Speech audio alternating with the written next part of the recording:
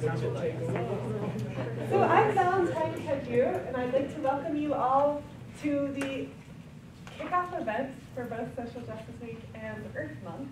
So Valerie Chepp, the Director of Social Justice Program and a Professor in Sociology, and I have worked together. This is our first year, both of us directing our respective programs. And we had the great honor to have this event, and we're really grateful that you've all come together. So I'm going to let Valerie introduced Todd, but I wanted to first thank the many people who helped to sponsor and make today possible. So in addition to the sustainability, social justice, and environmental studies programs, conflict studies, global studies, the Model UN program, sociology, the School of Business, and the Hedgeman Center for Student Diversity Initiatives and Programs all helped to bring together today. And in addition, the Center for Teaching and Learning in the Library sponsored the lunch that we just had with Todd. So thank you all for coming. We're going to have this talk for the next hour. We realize that the, in initial theatrical production of Social Justice Week starts at 4. So for those of you who need to go, you're welcome to leave at 4. But we'll continue to carry on the conversation. If it's going great guns in here, we'll invite people to bring snacks in. And if we want to continue the conversation, there'll be a reception out by the Fulford Terrace sign on the other side of the Wellspring Meditation Room. So we hope you can all stick around and enjoy it. This is also, I believe, um, Hamline Dining Services inaugural event of trying to have a climate light catering menu. So we celebrate that as well. So I'll turn it over to Valerie. Great, thank you. So, um, uh, as Valentine said, um, we are so excited to have Dr. Todd Beer here today with us to talk about climate justice and to really help us think through um, how this issue intersects with issues that we care a lot about on this campus, which includes issues about social equality and inequality, environmental sustainability and social responsibility, global relationships, and our participation in movements for social change. Dr. Beer is an assistant professor of sociology in the Department of Sociology and Anthropology at Lake Forest College, which is just north of Chicago. His teaching and research interests include the globalization of culture, climate change, climate justice, social movements, environmental sociology, race, and survey methods. His recent research includes surveying climate change activists at mass protests in New York City and most recently in Paris. He also studies the relationship between environmental organizations in Kenya and global INGOs and the fossil fuel divestment campaign on college campuses. Dr. Beer is the recipient of numerous teaching awards, and his research has been published in the Journal of the Global South, Sociological Perspectives, in the International Journal of Sustainability and Higher Education. He received his PhD from Indiana University, and before that, he received his master's degree from Humboldt State University and a Bachelor of Fine Arts degree from the Savannah College of Art and Design. Dr. Beer also blogs about a variety of sociological topics on his uh, website called thesociologytoolbox.com. And on a more personal note, it's really in his role um, as a sociology blogger that I was first introduced to Todd at a conference several years ago. We were both, and we continue to be part of a small but growing community of sociology bloggers. And so while Todd is a very accomplished researcher and scholar, as we will see today, his commitment to teaching is equally as impressive, which is beyond evident in how actively and thoroughly he writes about these issues on his blog. Throughout his posts, readers can find innovative teaching ideas and strategies for how to make sociology relevant to students and the general public. At the end of every post, Dr. Beer closes with the same concluding sentence, which eloquently sums up his dedication to his students and to his scholarly craft. He writes, teach well, it matters. With, uh, without further ado, let's give a warm welcome to Dr. Todd Beer.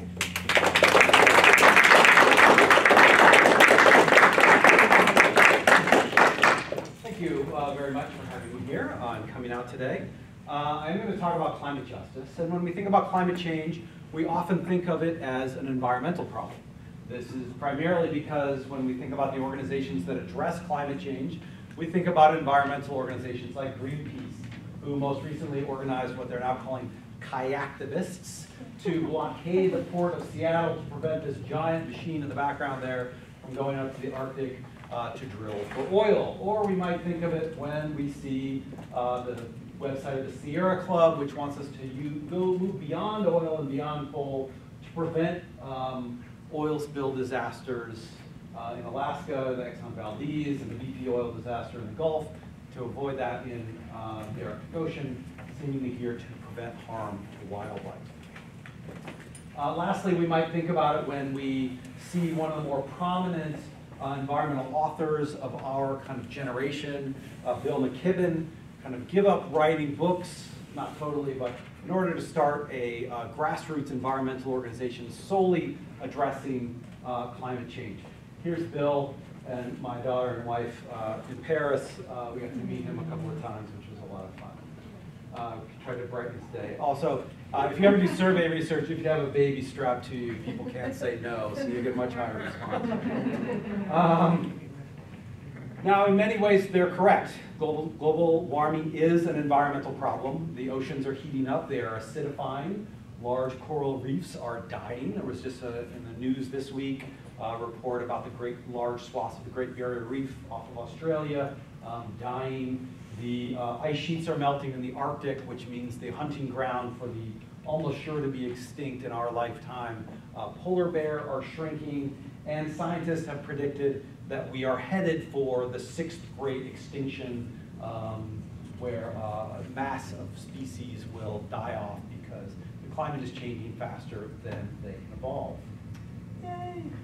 Uh, good news so far. All right, we might also think that climate change is a global problem.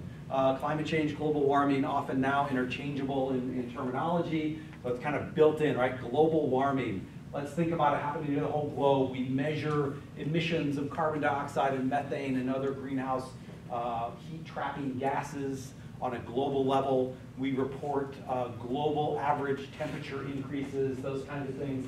But the problem is, if we think about it as an environmental problem, we miss a lot of the social uh, and political aspects of climate change. If we think about it as a global problem, we miss a lot of the variation and experiences of this problem uh, based on individual communities, often organized uh, into nation states on our globe, which are far from equal. How then is climate change a justice problem? That's what we're going to talk about today. So what are some of the principles of justice? It's not my field, so you should take uh, classes with Valerie. But uh, generally, when we think of justice, we think of equity and fairness. It is unjust for one person to be treated differently by the law than the other person.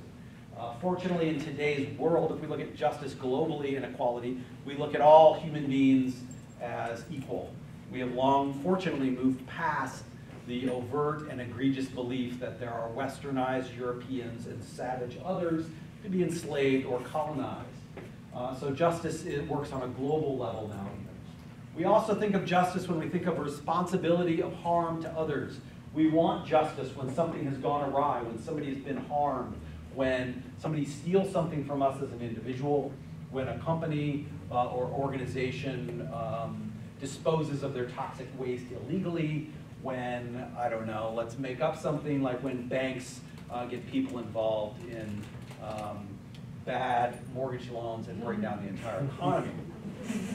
Um, we also think about social justice uh, when we think about uh, the distribution of goods or benefits and risks to society as a whole. Uh, distributive justice. Is it fair, is it just for one person to accumulate billions uh, while others have uh, not enough to meet their basic needs? Those kinds of questions. So part of justice is some sort of punishment. Uh, those can come in the form of incarceration, right? We lock people up as a deterrent. You don't want to go to jail and have your freedoms as an individual taken away. Um, we might remove them from society to protect the rest of society.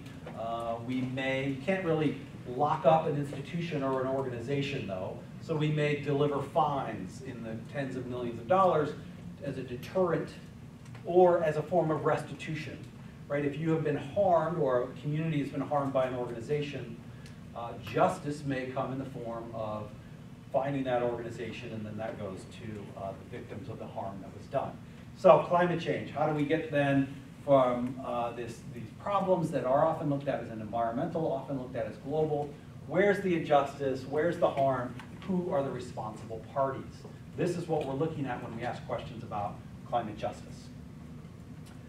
So we might not see that, we, we only see that harm depending on how we look at what's happening or what the causes of climate change are.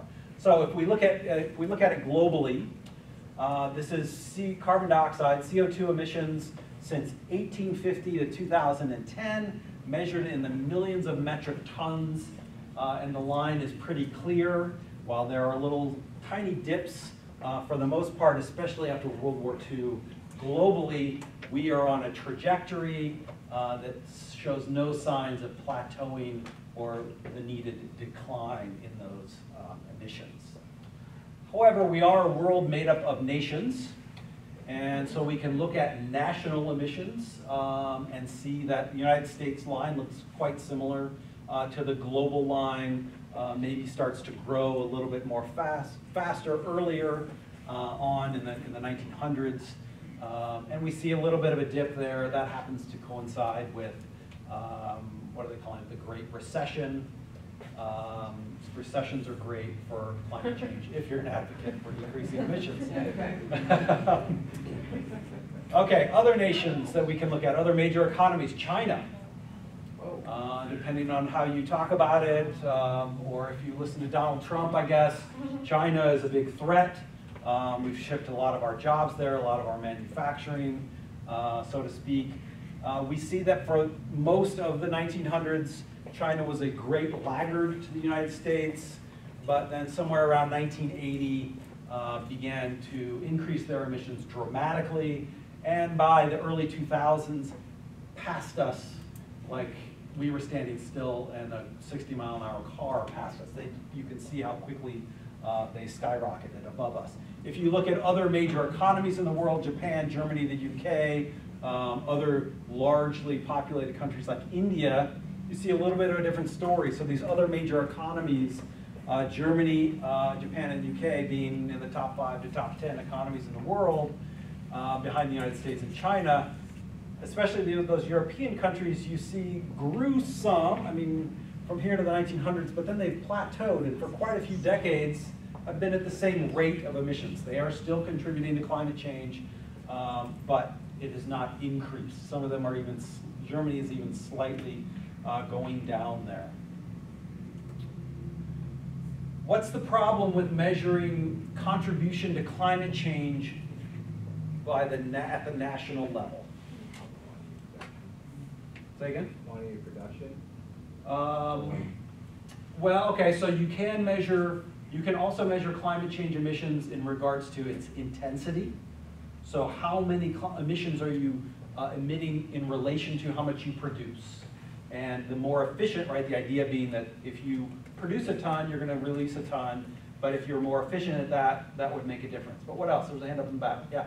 Uh, population. All right. Possibly population activity. Excellent. So China and the United States do not have the same population. Um, Japan and the United States, Japan and China do not have the same population. So the population of the U.S. is about 330 million. China is in the realm of 1.2, 1.3 billion, so four times the number of people than the United States. So when, we, when you hear the term, oh, China is the largest emitter of, of greenhouse gases in the world, that's true. They're also the most populous nation in the country. So we need to consider things, or many argue, that we can argue, we need to measure or consider contributions to this problem in regards to per capita. So if we do that, we see some pretty dramatic changes here. China drops way down here, uh, below the United States, Japan, Germany, United Kingdom. And the United States is kind of an outlier, uh, even though we are similarly uh, advanced and kind of our per capita GDP is similar to Japan and Germany and the UK, uh, our rate of emissions per person is much higher. And China is still well, well below us. So about uh, seven, I forget what these are, megatons uh, per person compared to the US's, uh, you know, 16, 17 uh, there. So two to three times uh, the rate per individual in the United States compared to China. If we keep up the US and China there, just for perspective, and look at the distribution of some other countries on different continents, so in this case, Africa, we see down here Mozambique, Sierra Leone, Kenya, Kenya, Ghana, and Zimbabwe are barely measuring on here. So they probably don't even get to one uh, megaton per person. South Africa, which is a little bit more developed economy, slightly above China. But we see impoverished nations contribute almost nothing uh, to the problem. Looking at another continent, some poor countries in Asia, Nepal, Afghanistan, Bangladesh, Sri Lanka, again, we can barely even see them because they're so close to zero. Vietnam begins to uh, tick up there um, a little bit. And lastly, if we look at South America, uh, again, you can kind of tell based on the level of development, Argentina and Chile appearing um, a little bit more visible there compared to Brazil, Peru, Colombia, Bolivia, El Salvador, and Haiti. Same level since 1960. So our timeline did change here just because of the um, accessibility of this kind of data. But we see poorer countries contributing much less to this problem. We can look at regions, right? So if we look at North America, the Canada, the United States, we see um, they are again kind of the leading uh, region of the world. Oceania, which is primarily, this number is primarily driven by Australia, Europe, and then we see Asia, Latin America, and Africa way down here. So we used to talk about the world in regards to first world and third world. Oftentimes the terms now are global north versus global south, different histories that make those kind of sweeping labels um, applicable in some cases. In this case, we see all of the regions of the global south kind of clustered in the bottom here, not contributing um, nearly the same amount to the problem of climate change. And lastly, we can look at climate change in a historical perspective. When we release CO2 and methane and others, it remains in the atmosphere. They're estimating, depending on the conditions, for anywhere from 20 to 200 years. So what we're emitting now, or the, um, let's flip that, the, the, um, the temperature increases that we are experiencing now, in part, are due to carbon that was emitted 50, 75, 100, maybe 200 years ago. So they've been able to calculate kind of our historical contribution. And once again, the United States is kind of an ugly outlier there um, between the dates of 1751 and 2006, contributing three times as much as China, Germany, the USSR, um, et cetera. So depending on how you look at it, uh, you will see then uh, the differences among regions and countries. So it's not just the causes, but also the consequences of climate change are uh, maldistributed. So the global south relative to the global north, it has lower levels of development. Uh, this matters because if the equivalent of Hurricane Sandy or something like that strikes New York and New Jersey, uh, that's one thing when it's hitting uh, steel skyscrapers, cement overpasses and things like that, versus if your housing is made out of a tarp or made out of mud and uh, grass roof, those kinds of things, it's gonna make a big difference in the impact. The idea of insurance, right? We think, oh, well, people have flood insurance, people have homeowners insurance, that kind of stuff. Not in most of the world. If your property is destroyed in most of the world, that's it. Um, it's over. So the, uh, our, the rate of solid infrastructure, floods in Mozambique uh, in the last couple of decades have become more regular. Their roads get washed away uh, because of the lack of um, construction material, et cetera. Largely in part because of public tax revenue is very different in other countries. So the government has less money to spend on um, things like that. The idea of building a seawall, right? For many countries, they're preparing uh, New York City, the tip of Manhattan is gonna have to build a seawall in order to prevent Wall Street from being flooded on a regular basis, these kinds of things. We can think of doing that, we can think of spending billions of dollars on infrastructure where other countries don't have that tax revenue. Additionally, other countries, particularly in the Global South, have much higher rates of absolute poverty, not like, oh, I can't afford premium cable, but like, I don't have electricity, kind of poverty. So more people living a subsistence lifestyle, meaning they produce and grow everything they use. So think about that. Think about what skills and abilities and how you spend your time and what you consume, right? How many of us have ever grown any of our food? Yeah, maybe I had a basil plant on my shelf once, right? Um, we have gardens but we certainly supplement that by going to the grocery store and things like that. Additionally, the Global South, uh, they're predicting is going to be subject to the consequences of global climate change in a more dramatic fashion. So as the atmosphere heats up, it holds more water, so that means it rains less, so we have more drought cycles. But when it does rain, it floods, and it dumps and dumps and dumps. We've seen this in California this year after years of droughts. Now we have tons of rain, tons of snow. We might say yay for the ski season out there, um, but mudslides, things like that. If you are a subsistence farmer and you don't have an irrigation system, if it doesn't rain, or if you don't know when it's gonna rain, your livelihood is over. If you take your crop, right, so a lot of the things that we eat are actually seeds, right, so beans, corn, things like that. They harvest that, they eat some of it, they save the rest for seeds. If for their entire life, it started to rain the second week in March, so that's, you know, they have to get the fields ready, they put the seeds in the ground, and now all of a sudden, because of climate change, it does not rain, or it rains and then it stops, and their crop dies, then they don't have those seeds to put in the ground anymore, they don't have insurance, they can't go live with their uh, parents, you know, those kinds of things. Uh, lower crop yields they're predicting for the global south. Rising sea levels, again, yeah, we can maybe build some seawalls to prevent New York uh, and Miami, well, Miami, no, but Miami's done. Uh, New York um, and those kinds of things for a little while. Um, other countries like Bangladesh have millions of people who uh, live at the poverty level that are at or below sea level. Uh, let's see, higher temperatures, there's predictions that in, uh, that came out this summer that in parts of uh, Iran, it will be so hot during parts of the year that people will, I think it was like 120 degrees was gonna be the average, or something ridiculous like that. So just general higher temperatures. The frequency and strength of storms. So as the, as the atmosphere collects more water, uh, hurricanes are becoming stronger. Again, this is gonna have an impact if uh, you don't have the same kind of uh, infrastructure. Uh, Vector-borne diseases, as it gets warmer, the area of mosquitoes, right, which carry um, things like malaria, which is one of the leading killers in the world. We don't have malaria here in the United States, we used to, and it'll probably come back. Uh, you see the talk of Zika virus right now, which is really only a true danger for anyone who might be pregnant, but that's a good portion of the population.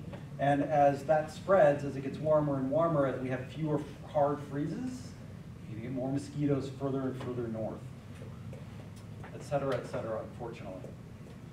All right, so how is climate change a justice problem? It's a justice problem because there's disproportional causes and consequences um, of, of harm caused by climate change. So you see particular nations contributing to the problem much more than others.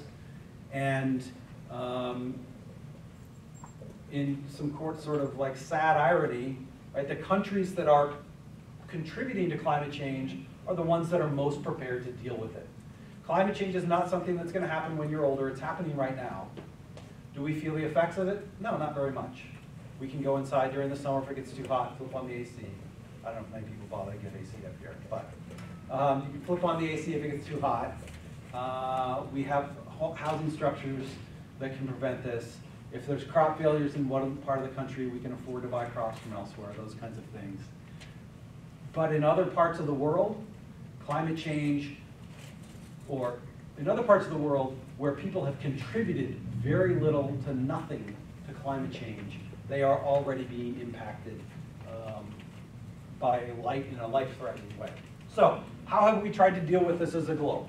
The United Nations brings together countries, most countries in the world, and in 1992, they formed the United Nations Framework Convention on Climate Change.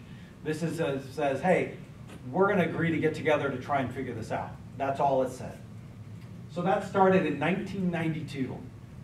And part of the text that they came up with recognized that nations had common but differentiated responsibilities. So hinting a little bit there at uh, climate justice. In 1995, they started negotiations to form a legally binding treaty among nations that would address the problem. And in 1997, they adopted the Kyoto Protocol. The Kyoto Protocol uh, took this common but differentiated idea and said, look, we will have 41 what they called Annex 1 nations. And those are nations like the United States, Western Europe, Japan, Australia, heavily industrialized nations. Those nations, we're going to ask you to commit to emissions reductions. The rest of you, you don't worry about this right now. You're still trying to develop. You're still trying to bring the majority of your people out of poverty. Keep developing. There were two commitment periods to reducing emissions, and generally they asked countries to reduce 5 to 8% from whatever their level was in 1980 uh, by that point. In uh, 2005, Kyoto entered into force uh, in the world with 193 signatories, but not the United States. The United States never signed uh, the Kyoto Protocol. So this one phrase here, this common but differentiated responsibilities, that's pretty vague. That's not something to write a lot of policy uh, specifics from. So that one phrase we have been negotiating and grappling with and protesting about uh, for 23 years now, 24 years. And it still plays a role up until, well, currently and, and even in last year's negotiations in Paris. Early on, nations from the global south didn't want anything to do with these negotiations. They had fears of arrested development, not the television show, but the idea that if we sign on to agreement that limits fossil fuels, then you're going to ask us to stop developing right where we are. You've spent a couple hundred years using fossil fuels to develop amazingly luxurious economies, and now we have a problem with them, and you're going to ask us not to use them. They had, um, they were concerned about that, and so they thought that this was kind of another um, environmental protection scheme from the north that said, hey, protect the Brazilian rainforest. And they said, hey, wait a minute, where's your buffalo that used to range from you know, North Dakota down to Oklahoma? Why don't you reinstate that range and then we'll talk about protecting all of our natural resources. There was also a tremendous mistrust due to historic relationships from colonization. So nations were colonies when your parents were alive. That may seem like a long time ago, but uh, the last colony, maybe mid 70s, Mozambique and Angola uh, gained their independence from um,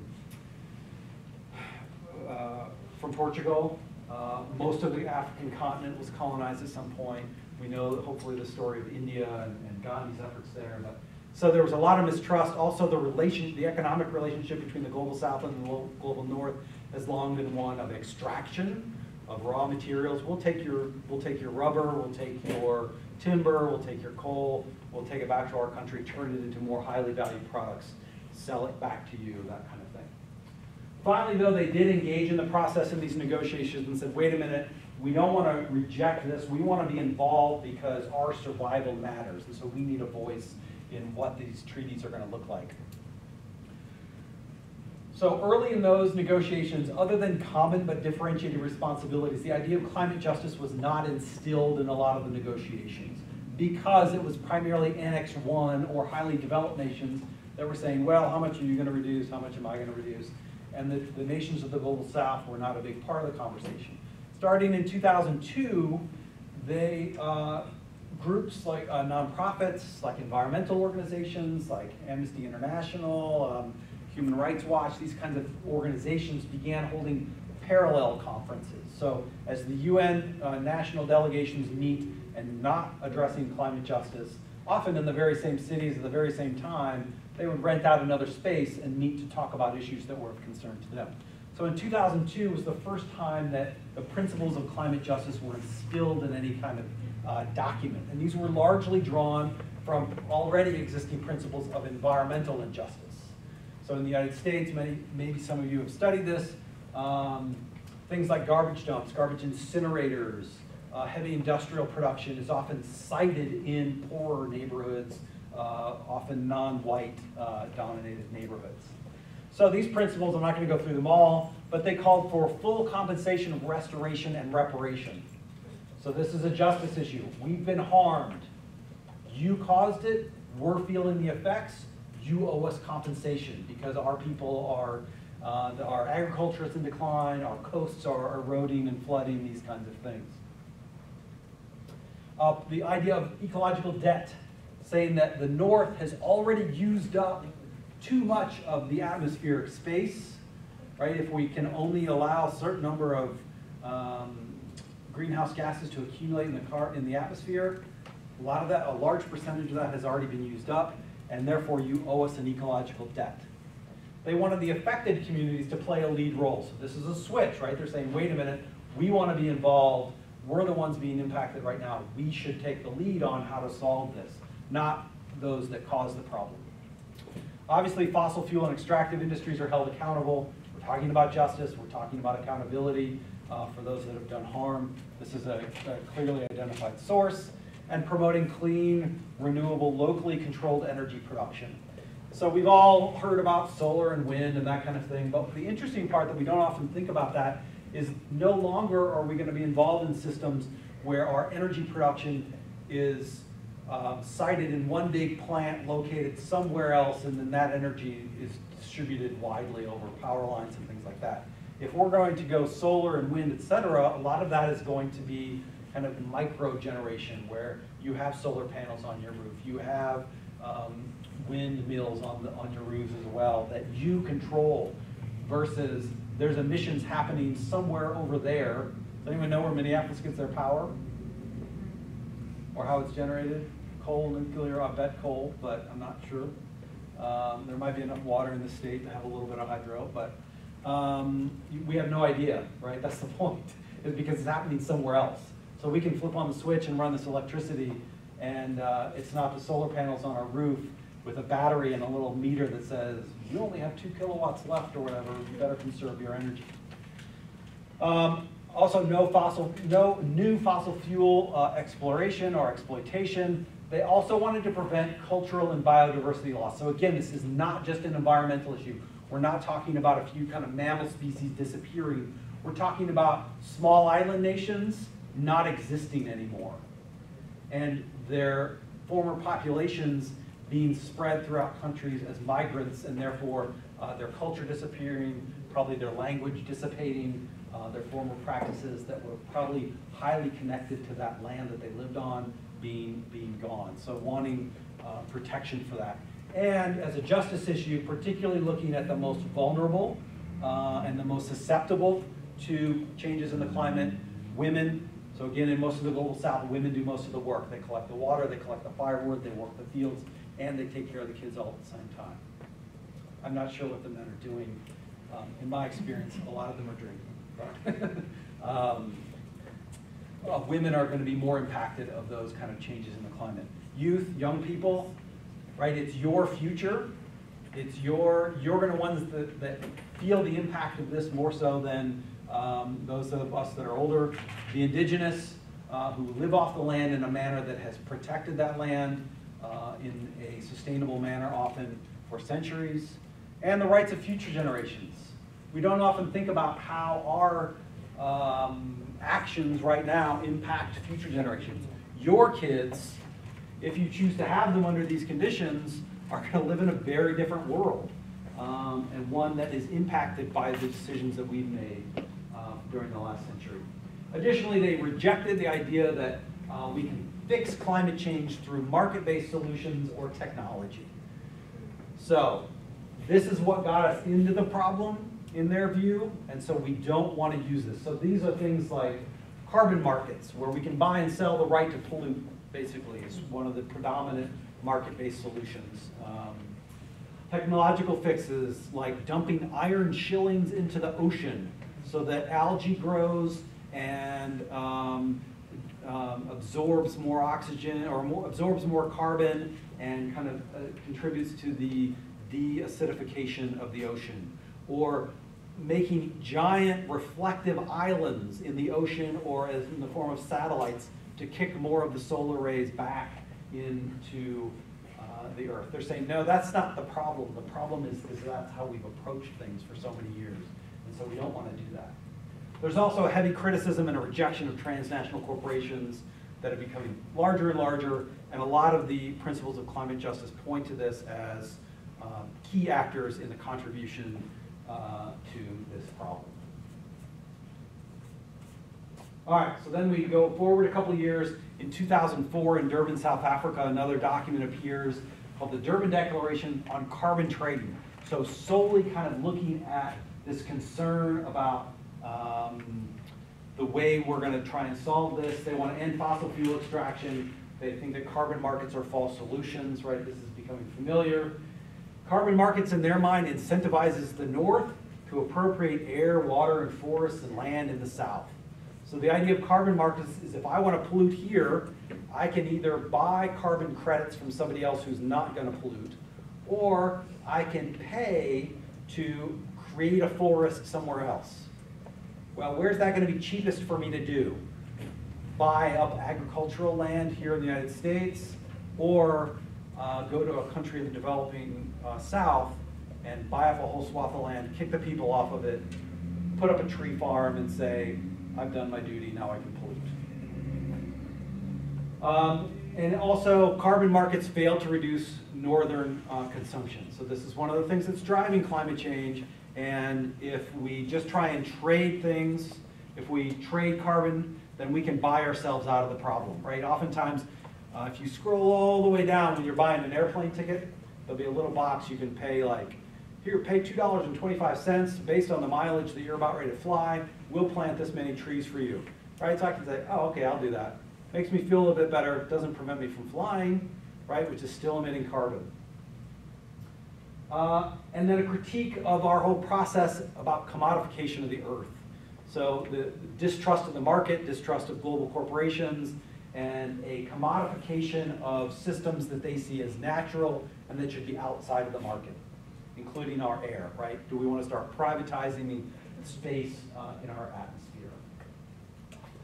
In 2009, at the COP15, so COP is Conference of Parties, and 15 is just a count of how many we've had each year. So this is now 15 years after the United Nations Framework Convention on Climate Change uh, began. And um, this was a, a moment in, in kind of history where we thought there was great hope that there was going to be a new treaty. Kyoto wasn't working, the United States never signed on, Canada initially did and then bailed out. Uh, Australia was about ready to bail out. And so we thought, all right, um, we've seen the problems emerge more and more. Copenhagen, something's going to happen. Mass protests trying to push towards that uh, end, that, and climate justice was a large part of this language. So a year into seven years, these ideas, this critique has been kind of embedded into the mainstream. A year later, uh, Copenhagen failed. Uh, a year later, the Pan-African Climate Justice Alliance, which is a network of organizations on the continent that address climate change, uh, came out with a climate justice manifesto. This said we call on developing nations or developing countries to acknowledge they have already used more than a fair share uh, and sustainable share of the Earth's atmospheric space. So this is that debt that they owe again. They must repay this debt through deep domestic emissions reductions. So the North needs to cut, not the South. We haven't contributed to this. We're still trying to develop. The North needs to cut. End overconsumption. Transfer technology. So part of the argument as well in regards to climate justice is you've generated this problem. The opportunities for us to develop using fossil fuels are becoming more and more limited. You need to transfer that technology like solar, like wind, to our societies. You're not going to make us buy it. You're going to give us the instructions and we're going to make it ourselves or something to that effect. That, that we need to have more open access to those kinds of innovations. Uh, and then finance required to enable us to follow a less polluting pathway without compromising our development. So this concern of arrested development is still there, part of uh, climate justice. Also, how much of the Earth's temperature should be allowed to rise? Allowed is a, a loose term we haven't quite gotten control over yet, but um, climate justice argues that it should be 1.5 degrees or less as a planetary average, Celsius. Uh, we're at like 0.7 right now, so we're halfway there. Um, but the argument was the other number being floated was 2 degrees Celsius as a planetary average, and nations of the global south said that might be fine on a global level, but even a 2 degree average impacts us in a way that's unacceptable. So we're shooting for 1.5 degrees as the kind of agreed upon limit. So they want countries to compensate them for this historical emissions. So we're not going to look at, oh, we're just one big globe, we've all contributed to this, let's all chip in and solve it. No, no, no. Climate justice says this is not a problem we all created. There are particular people, and we need to look at that historically. So the polluter, not the poor, pays for the problem. And a rather biting quote uh, from this manifesto, it's a cruel irony indeed that a people who have lived for so long in harmony with nature, imprinting the lightest of carbon footprints on the earth, are now suffering and living in abject poverty due to the damaging effects of greenhouse gases emitted by developing countries. So furthering uh, their efforts to develop. Lastly, in 2010, in uh, Cochabamba in Bolivia, they called kind of an alternative conference together of organizations and developed this people's agreement that was a heavy critique of capitalism. Said we're going to question this entire system um, that's contributed to climate change using language like we're decolonizing the atmosphere. Again, recognizing this real historical relationship between nations of the North and nations of the South that has often been exploitative calling for that technology transfer that we've seen in others. Uh, this was an interesting one. They wanted the countries in the developing north to be open to climate migrants. Many people argue that this is going on right now with the war in Syria, that in large part that was sparked by a, a severe drought uh, that put people in uncompromising positions that caused um, uprisings that's now leading to uh, huge migrant flows into uh, Europe and they wanted to establish an international tribunal of conscience that would uh, oversee uh, the development of this, the, the, development or the implementation of the People's Agreement of Cochabamba, and kind of hold the world accountable uh, for climate change. And they took it a little bit further down and said the maximum increase that we need to shoot for is one degree uh, Celsius. And then compensation that we've seen in others. So, uh, common threads, consideration for historical emissions, not just per capita national emissions, not national emissions as equivalent, but historical emissions, compensation for the loss and damage received uh, or being experienced, no carbon markets to solve the problem, uh, technology transfer, rejection of a fossil fuel powered future, and 1.5 degrees Celsius. So these are common threads throughout a lot of these.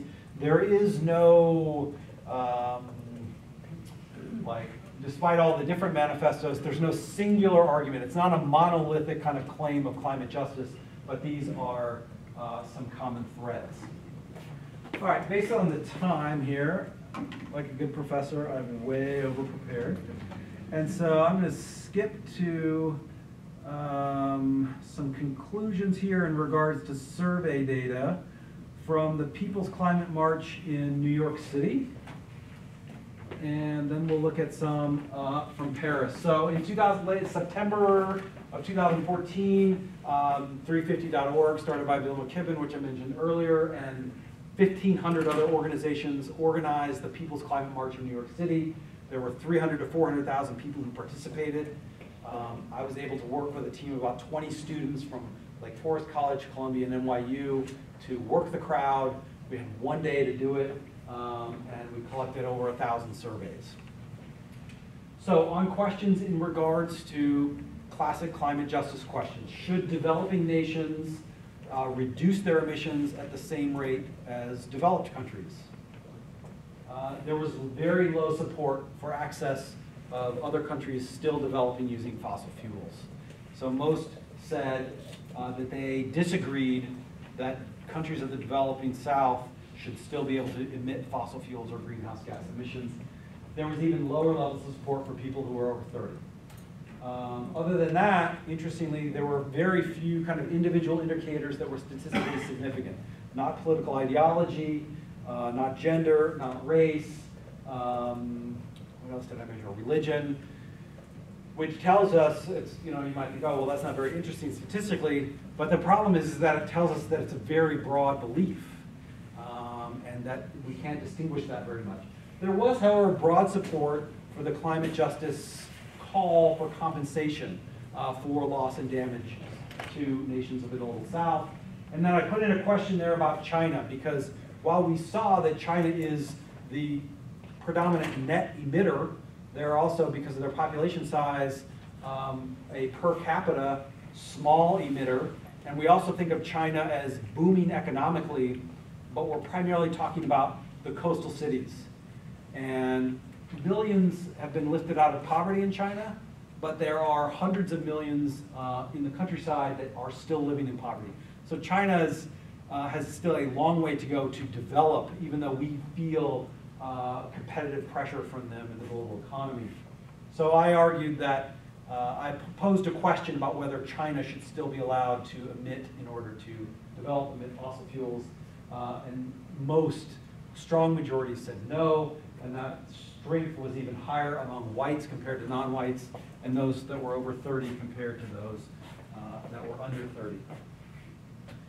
If we jump then to uh, the People's Climate March in, um, or the Paris um, events. So Paris was a little more complicated because this meeting started four days after the most recent terrorist attacks. And so the initial protest, which was scheduled for the 29th, they were expecting 200,000 people, uh, was canceled or deemed illegal.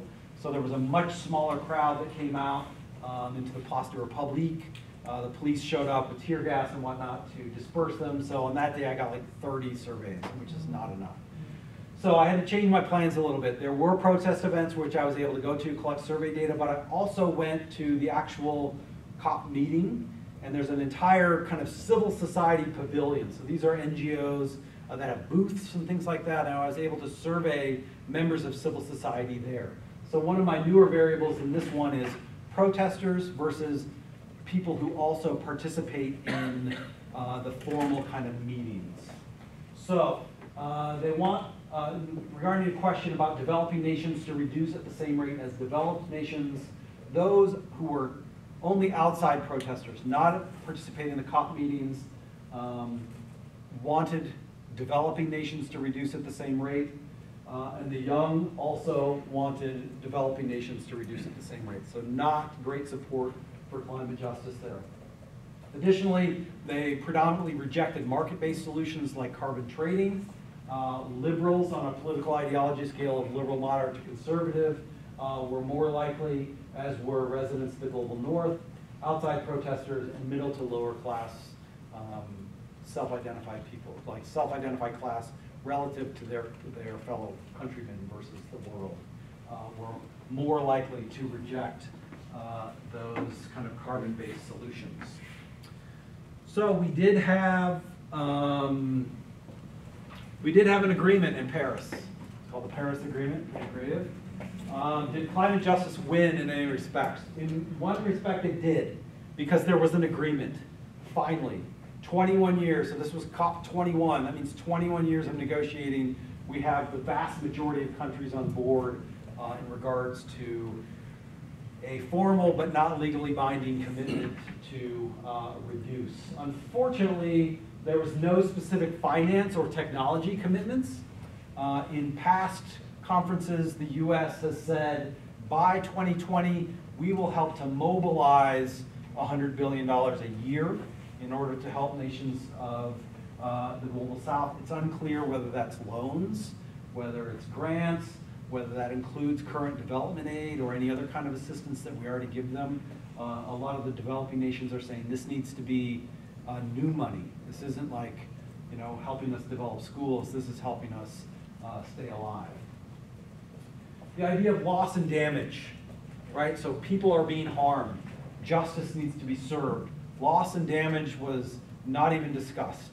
The United States, in particular, our negotiation team said, we're not even, we're not talking about um, liability, who's responsible, who's uh, liable, or uh, has to compensate other countries. So that is no part of uh, not only the negotiations, but the final agreement.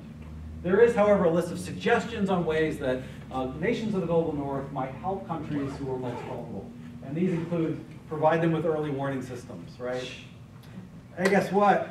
Uh, that super hurricane's coming. I hope you can find some shelter. Uh, good luck. We paid for this, you know. Um, emergency preparedness, risk assessment, resilience, cetera—nothing that would actually uh, help them uh, kind of prevent this, but rather you're screwed. You're going to get slammed by storms and things like that. We're sorry. Here's the best we can do. But um, let's see, what else do I have here? They did, interestingly, climate justice also won in that we committed to uh, limit uh, temperature increases to 1.5 degrees, which is, was a surprise to all analysts. Going in, and for the 20 years prior to this, it had been 2 degrees, 2 degrees, 2 degrees. Uh, And at the end of the last week, uh, the United States and some others agreed to 1.5 degrees Celsius above pre-industrial levels. Uh, Again, we're already halfway there, so that may seem small, uh, but the general variation in the climate over human occupation of this planet has been quite small. Uh, The language is not legally binding, uh, implies commitment, um, reach the global peaking of greenhouse gas emissions as soon as possible. We're gonna do our best, but. The problem is that there's this giant emissions gap. They basically said, the world celebrated, you may have heard of that at the end of the agreement, uh, it was like December 12th or something like that. There was this huge celebration in the press. The world comes together, we're, we're gonna do this, we're gonna tackle this problem. The problem is there's an existing emissions gap. So every nation prior to the meeting in Paris submitted a proposal about how much they were gonna reduce emissions. Voluntary, uh, they could do it in their own methodology. Uh, the United States is gonna start phasing out coal and support for natural gas and things like that. The problem is the commitments that we made as a planet lead to three point five degrees Celsius increase. Um, that's beyond catastrophic, just from a scientific perspective. So if we don't, it's not like we came to an agreement in Paris and this is over, and we finally did it and we can move on. Um, This is gonna be an ongoing debate when we see that we made this agreement, but emissions continue to rise. What's going on? They may rise less slowly, but I assure you they will continue to rise. So we're still left with this very vague kind of language about common but differentiated responsibilities. I'm gonna stop there. Um, got a few minutes before four o'clock. I am, um, more than willing to take questions. If, uh, we don't get to one of your questions for any reason, please feel free to email me, Beer, which is my last name, beer at lakeforest.edu. Uh, sometimes I think I get students in my class classes just because they want, they're like, oh, they're looking through the catalog.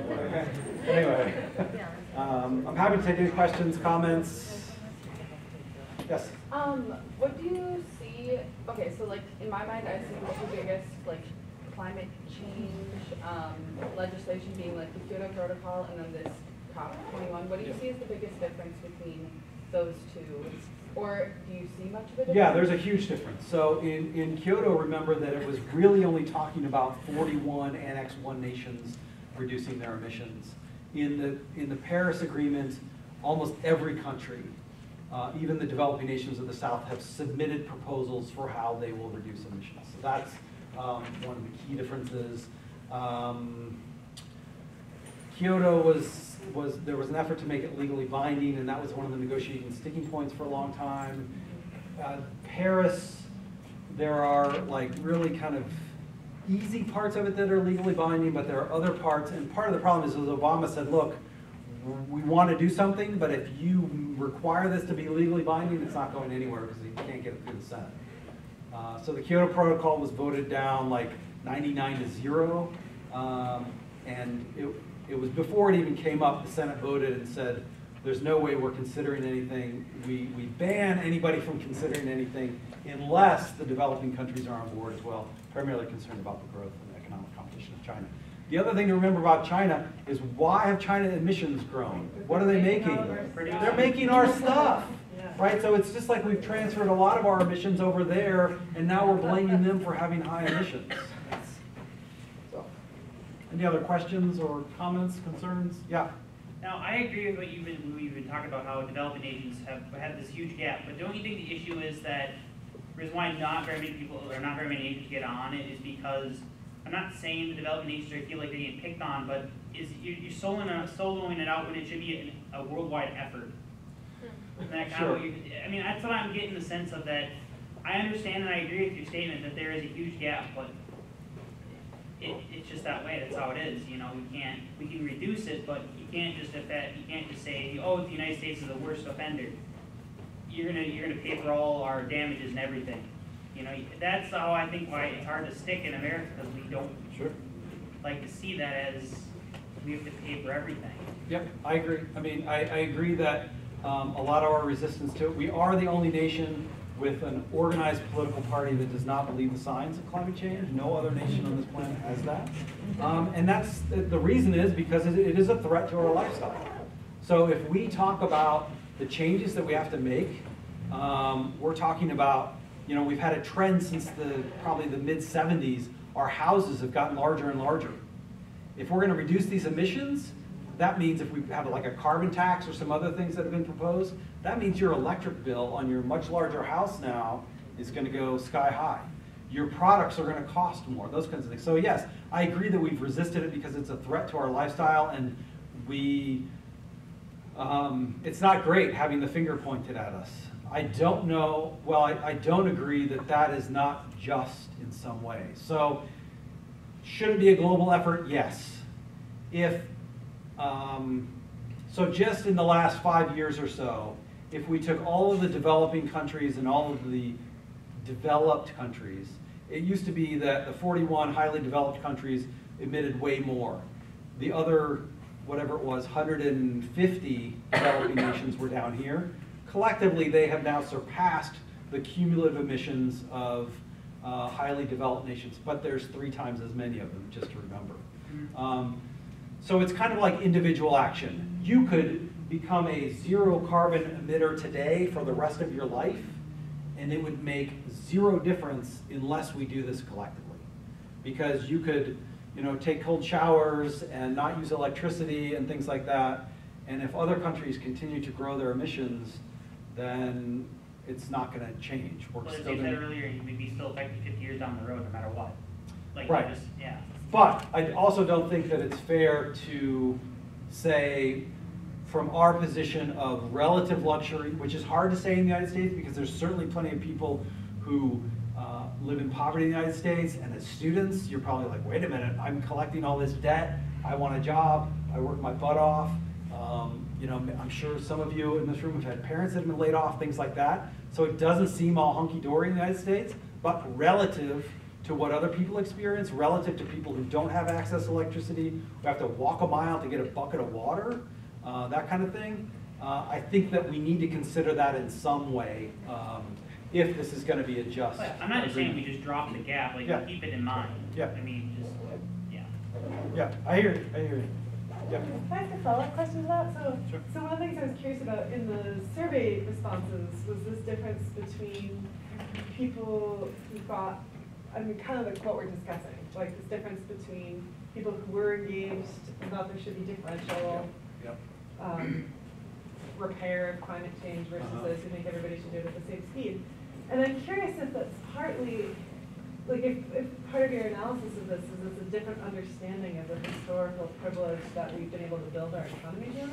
And I'm also curious, what are the, like, what are the implications of that, particularly for youth involved in these movements? Mhm. So like, like, as we try to get our campuses on board with Mhm. climate justice, what does this tell us about how we should be Right. talking about this? Yeah, I, I think you're right, but it- I'm speculating, because I don't, we like to base our assumptions on empirical data, right? So, I don't have that, but I, that would be a great kind of follow-up question in regards to like, well, why don't you think that should be considered? And So here, so for example, uh, should developing nations reduce at the same rate uh, by certain age categories? And this is a little bit of manipulation of the data. I'm looking for something significant here, some breaking point, so it's eighteen to thirty-nine, which is you know, not like a gener, classic generational, like twenty to 29, 30 to thirty-nine, et cetera. But this is where the breaking point hits with statistical significance.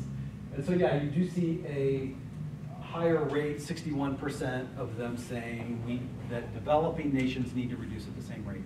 So I think that it's a little bit of a lack of context, historical context, again, not having lived in a planet where there were colonies, not having lived in a planet where I mean, the World Bank has kind of become less evil, right? So there's not been the same kind of structural adjustment programs and, and manipulation that the 1980s saw, maybe. And so there was, I think there was, and now we have globalization. We kind of have this idea that our, our production is flowing across these trade routes and things like that, and it's a more shared experience than our kind of political history of the past. Um, but also a, greater urgency because they're younger and they're like, you know, I'd love to live a full life, but, but what if you left me? And so I think in preparing, in teaching about this, I think that historical context is absolutely crucial because we didn't just arrive at this problem today.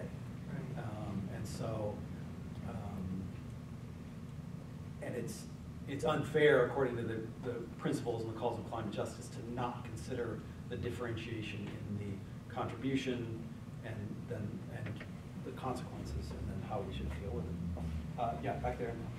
I'm interested in where you see emerging moral voices um, arising, um, how a a chorus of moral voices can come together. Um, uh, I know re- religious anthropocentrism has been a problem in the past, um, but for example, Pope Francis's Laudato Si, and are there, do you see possi emerging Yeah, I think so. I don't know if it's a chorus yet, but there, there's, uh, I think there's, increasingly it's a chorus and there's definitely multiple solo acts going on, right? So the Pope's encyclical that called, it was heavily critical of capitalism. Right. It was heavily critical of climate change and not addressing it. Um, Other religious communities, like the evangelical community, is seeing the uh, damage to the planet as damage to God's creation um, and calling for action in that, in that manner. Um, I think that there are, uh, I think there are people in the business community that want this addressed. And part of the desire to be addressed is just so it's a level playing field, because there is pressure from consumers. You can't go out there and buy um, goods that have a little thing on them or a little seal that might say, you know, um, carbon neutral or produced with solar power or whatever. Well, those companies are doing that because there's a market for it, but they're also at a disadvantage in some ways where they're having to pay more for that energy relative to our increasingly cheap fossil fuels. Um, and so they want to level the business field by saying everyone has to abide by these kind of climate rules or whatever. We want to do this, but we're being outcompeted in, in many ways. Um, I think other little things like the tiny house movement, Yeah. right? I mean, there's like shows on, I don't know, I, I don't have a TV, but those like home, that's not Home Shopping Network, but Home and Garden Network, that's what, yeah, HGTV, right? There's whole shows on like how people are living much, much smaller and more efficiently, and we're all like, well, that's super cool, I love a tiny house. Um, so that's, a- I mean, it's not prominent, but it's there, and it's, it's, I think it's a sign in our culture that we're starting to question the size of our kind of conspicuous consumption. Those are the things that I would see, uh, yeah. As a follow-up to that, I'm curious whether there's ever discussion about a consumption tax in the United States. So if you're buying bigger houses that require more energy or Right. bigger cars, you pay more. Right, And yeah. I don't know why we haven't instituted something like that. I think most of the rec, most of the recommendations are at the production side. Uh, I think because there's fewer points that they would have to regulate, right? So if you do consumption, you have to calculate the carbon that went into the thing, you have to calculate, um, you know, does that include shipping? So if I buy something that was shipped from China, does it cost more because it went on a boat that was burning fossil fuels, that kind of thing. So the complexity is greater than, there's a coal plant, I know how much it emits every year, I'm gonna tax that carbon. So there, there is, I mean, we don't like the word tax, so politically viable um, programs of carbon taxes have not really emerged in the United States very strong. We do have a couple of, so in 19, in the early 90s, uh, the idea of cap and trade was prominent among both parties. Uh, Joe Lieberman and somebody else, I forget the Republican, co-sponsored a bill to introduce a cap and trade system where you say, this is how much carbon we can emit, here's your permits. Every year, we're gonna take away some of those permits. So you're gonna have to figure out, you either use technology to reduce your carbon, or you're gonna have to pay to buy somebody else's. Therefore, hey, if I have a permit to, to, uh, to burn carbon and somebody else wants to buy it, then that incentivizes me to reduce as well, then I can sell it. That kind of, that's what carbon trading, the idea behind that is. Um, that has not been revived at a national level, but there are regional. California has one, the northeast states have a kind of a carbon trading market, those kinds of things. Um, But, uh, yeah, here and then, and then back to you. Okay, yeah. I have nothing against taxing, but one, that's, no, Americans, we don't like taxing, from what I understand, as, as you said, but wouldn't the more better approach be to more incentivize how we construct buildings? I mean, I understand we build big houses, but to build houses that have energy efficiency, such as with geothermal, uh, at least some solar power systems to at least, like you were talking about micro, wouldn't it be more to, better to incentivize that? I mean, you, you said you don't want to have a marketable, uh, I can't remember what you said about that. Well, there- yeah, and so there's not support for, for a lot of this amongst the principles of climate justice. We do have some of that, right? So taxes are disincentives, right? So if you tax something, the idea is that, well, we're trying to deter people from using it because it costs more. Cigarettes, gasoline, that kind of thing. We do have incentives in that um, different states and have regulations where if you put twenty thousand dollars worth of solar panels on your roof, they'll refund you five thousand dollars in your taxes, stuff like that. Um, everyone's so excited about the new Tesla that's coming out. There's been two hundred and fifty thousand pre-orders for a vehicle that's not gonna be available until late next year. And it's gonna be thirty to thirty-five thousand dollars, but in some states, with tax incentives, by buying an electric car, you could get the cost down to like twenty-five thousand dollars. So incentivizing people to buy that instead of a less fuel-efficient fossil fuel burning vehicle. Which, by the way, electric cars are still fossil fuel burning. If you plug it into your outlet and your outlet is charged by coal power generated electricity, it is not a clean car. Okay, Also, so- we need to incentivize more houses that use, that utilize the stuff that we have. I mean, we have batteries now for houses. I mean, Yes, Elon Musk has proposed that as well. So the founder of Tesla and kind of the brainchild behind Tesla has recently said that they are going to move their battery technology into the household level. You can have a battery pack for good uh, solar power as well. So the incentives are there. Um, I don't know how extensive they are. They're obviously not enough based on the fact that our market, if you just go off the market incentives, it says um, the only kind of message from the market should be the prices, right? That tells us whether I should get into that business, or whether I should buy the product, that kind of thing. It shouldn't be the government or some other entity determining that. Well, now the problem we have is that for a while, oil was 100, $150 a barrel. And that incentivized more people to get into technology in the market. So now we have shale oil in North Dakota, in, um, I even said that like in North Dakota, I don't know where that came from. Uh, North Dakota and Canada.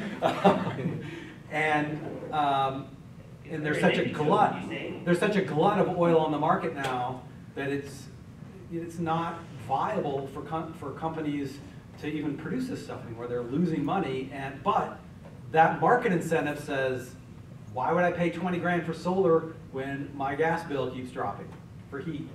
And my electric bill keeps dropping because we have a coal-fired power plant?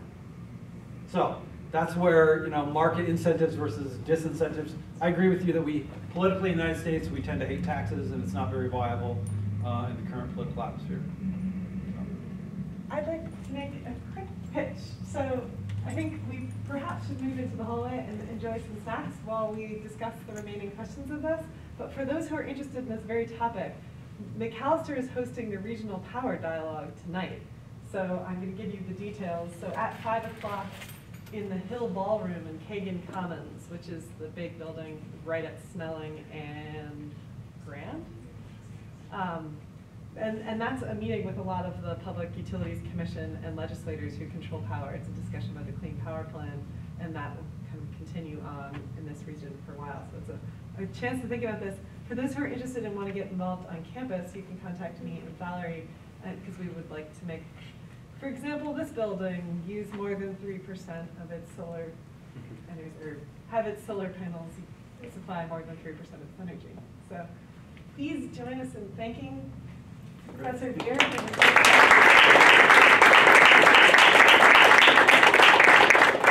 I believe if we go out over there, there are snacks the hallway.